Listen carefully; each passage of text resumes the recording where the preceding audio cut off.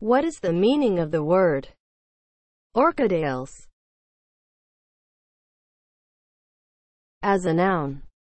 Order of plants with irregular flowers having minute seeds, Orchidaceae, Burmanniaceae.